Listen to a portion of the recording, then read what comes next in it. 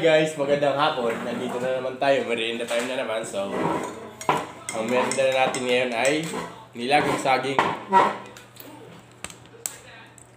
Nilagang saging pa rin.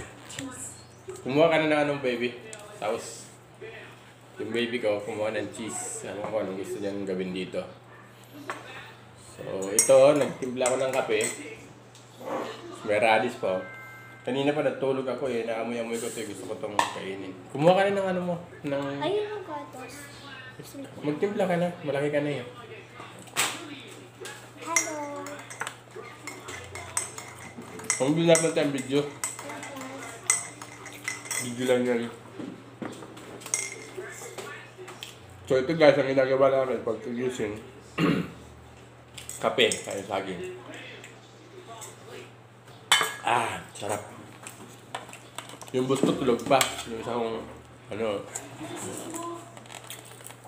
misis ko ba yan? Hindi mo ba yung asawa? Di asawa.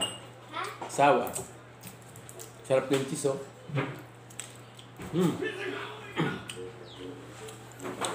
Kain tayo, guys. Masarap pag ano itong nakakulong ka lang ng bahay. Ano sa'yo? Sabi. Kaya may plano ka pa bago mag-ikot sa bahay. Mas maganda po nga eh. Celebrate sa bahay. Ang Yeah. maganda sa bahay. Alam mo na agad anong gagawin mo pagkatapos mo pagkagising mo. Main ka. Kita ba ulo ko eh? Oo. May, lagyan mo mainit tubig. Diyan. Yan, Mom. Kakapain. Ikaw. Hmm. Lagyan mo pa. Gusto bang marami? Dahil may ito tubig. Dami naman, hindi mo naman inom yan. Matagal mo inom. Ito eh, nabili ko ito kahapon sa bahay, nilaga. So sabi ng boss ko, magagawa na kami na tamis sa saging. hmm? Isda. Tanda ba na so?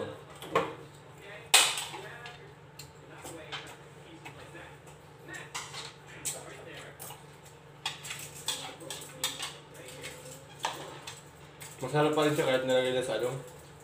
Ito, ubi na pulog na pero masarap pa rin. Kung ano na natin makakain pag ano. Nasa bahay ka lang pala. Tapos wala ang ginagawa. Yung tindahan ko sarado. Sarap din itong buhay pero dapat may techniques ka, may techniques ka pa ganitong ano, ganito na tulog ka na ng bahay. Pag kain ka ng kain, kailangan may techniques ka rin ha, paano mag maging ano malakas ka. Kasi yung ganitong gawin mo, kain ka ng kain, tapos tingnan mo exercise, mahal blood ka. Lagay ka sa kahon. Ang ginagawa ko nito, pag kaya ko ng kain, pag nakakaramdam na ako, exercise ako. Hindi na mamaya, exercise ako mamaya. Saging? Cheese ang sarap oh. Gumagana ba yung video? Baka hindi gumagana ah. Wala, kung naman tingnan, hayaan mo siya kung hindi mag-record, kung mag-record eh. Tapos mamaya, mag-iisip na naman ako anong ulam natin, ulam na yung mga kapunan. Ano ba doon sa rep? Hindi ko alam kung anong laman doon.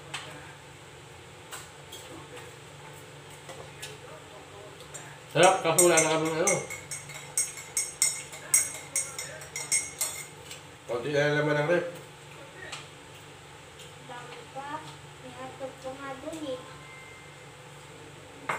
Binurjak mo na yung cheese. Das. Yan no? Hiwa ka na eh. Sayang naman yun. Mahal-mahal pa naman. Pera pa rin makabili ka ng cheese doon sa tindahan kasi pila, tapos umiiral yung ano, distance. Keep distance ba yan? Distancing. Di ka, di ka pwede dumikit eh. Minsan-? Hmm. Alam mo yung nasanay sa sa ano? Sa, pag namili eh, dik, dik, dikdi ka na agad. Tapos bigla nagkaroon ng ano, short distance. short distance yan? Hindi. Pag may short distance, tapos distancing. Habang ang pila, nandun sa labas na ang pila. Hindi dilit eh. Kaya, yung dapat, dapat, nabili mo doon, na tindahan yun, napaka ano, napaka, kumbaga, powerful. Hindi siya basta-basta pagkain, pinaghirapan mo talaga. Yung nagpila ka, away-away pa kayo, kasi hindi ka, hindi ka pwede mo usap. Malayo, di ba? Tapos sasayangin niya lang, oh. Sinigil, sinagtan niya, oh.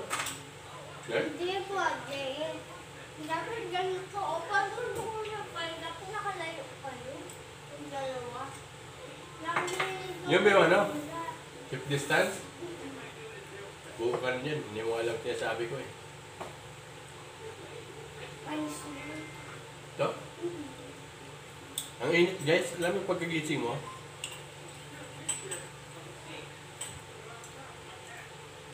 Dito ko yung aircon, kaso mainit pa rin. Nakabukas pa electric fan.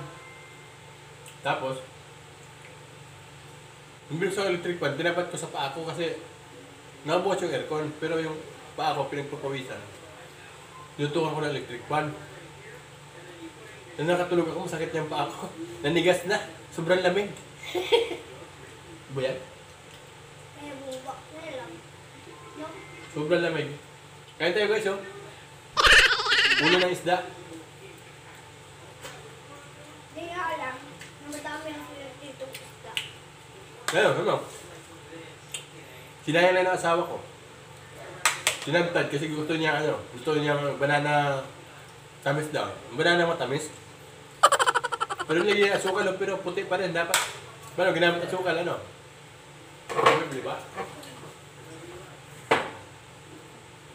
Wala, basta. Ano po? Tao?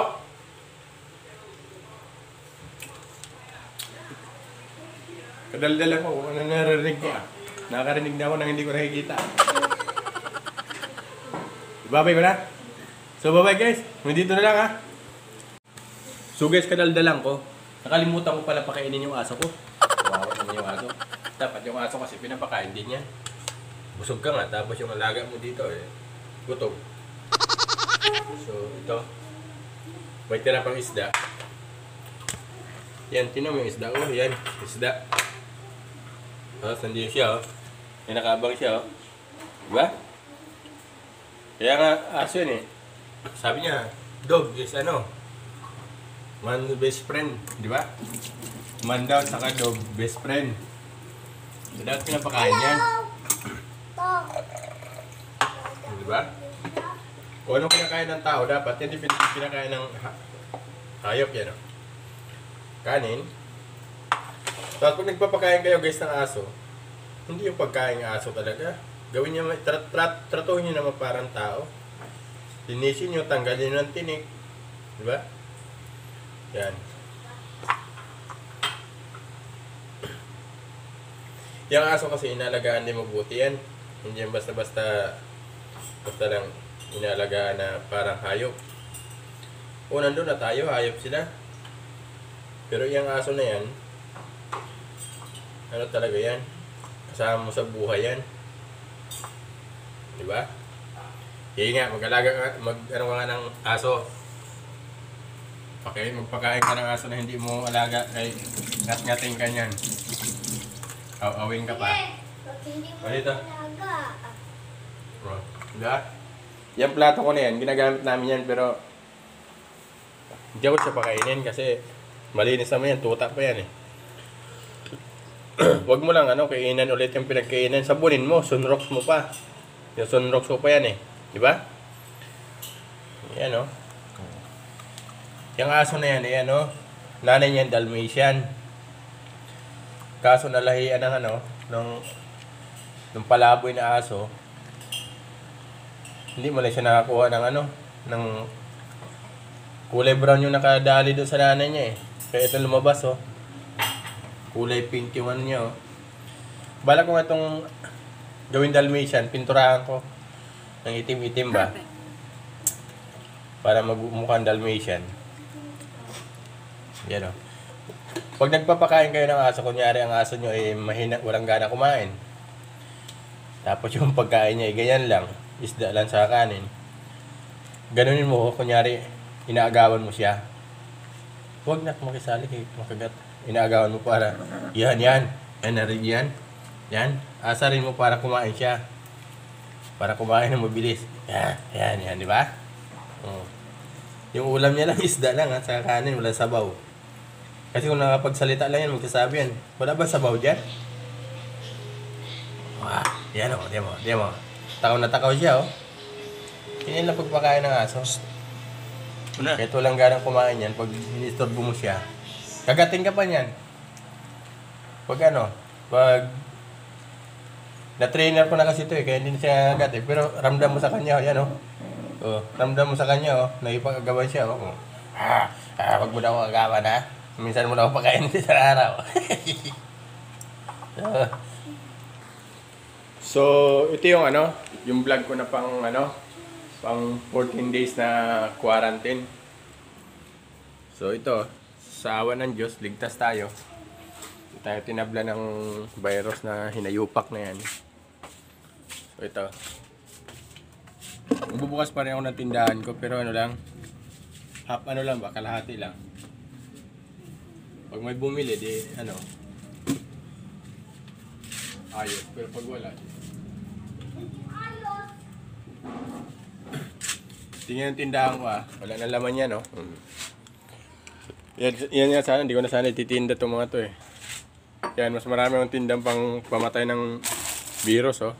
Sunrox, oh. Uy, may presyo ah. Kaya natin i-focus yung presyo. Ayan. Sunrox yan. Yan, itlog ko. Ay, itlog pala. Pa. Pag may bumili ng itlog, di... Bibenta natin. Pag wala, di wala. Yung mantika ko, oh. Yung mantika ko galing pa sa ano yan? Sa langis. Yung mantika ko galing sa langis ah. Tandaan yan ah. Eh, wala ka tao-tao.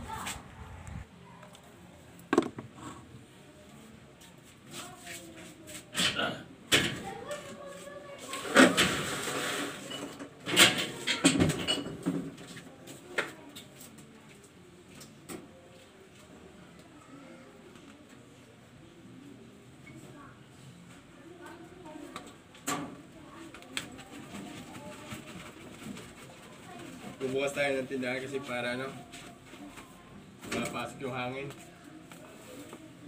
Halika dali, sumunod ka dito.